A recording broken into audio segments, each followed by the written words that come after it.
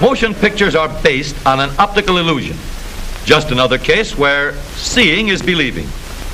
To understand how we see, let's turn the tables on the human eye and look at it instead of through it. The light reflected by any object we look at passes through the lens of the eye and is focused upside down on the sensitive surface called the retina. This retina passes the impression on to the optic nerve, which sends it to the brain, and we see it right side up. The reflection will stay on the retina as long as the object is in view. When we look away or take the object away, the images disappear. But notice that the image in the brain does not disappear immediately.